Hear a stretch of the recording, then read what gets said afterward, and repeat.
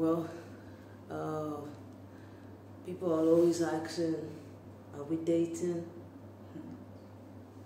Why are we dating? Is that the only relationship we could be in? To me, yes. This is the only relationship I can be in. Because why? Um, I'm happy. I'm happy. I know what love means. I understand what love is.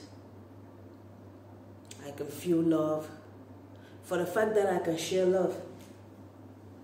Yeah, you know, sometimes people just want to judge you without even knowing anything about you, without knowing uh, what you've been through and what you're still going through. You know, You're right. Just want to like live their life for you. They want to detect how you live your life. You know, without you know respecting your opinion about how you choose to live your life.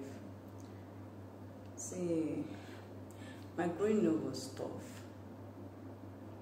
Very, very tough. Like, it's tough, but thank God it didn't kill me. Thank God it didn't kill me too. Yeah, but then makes me stronger. Yeah. So, um, It's crazy. It's crazy sometimes when people want to like know everything about you.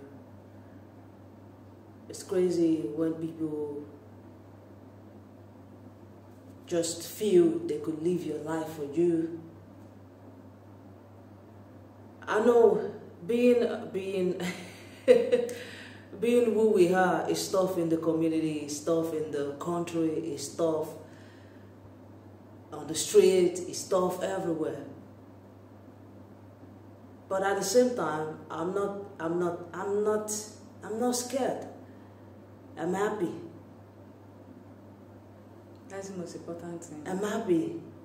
I, I just know what love is.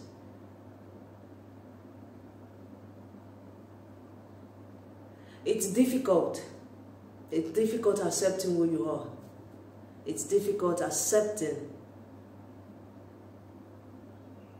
that I'm an LGBT. It's difficult for people to accept that. It's difficult for them to understand what it means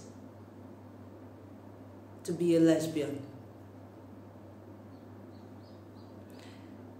Being us is beautiful. Being us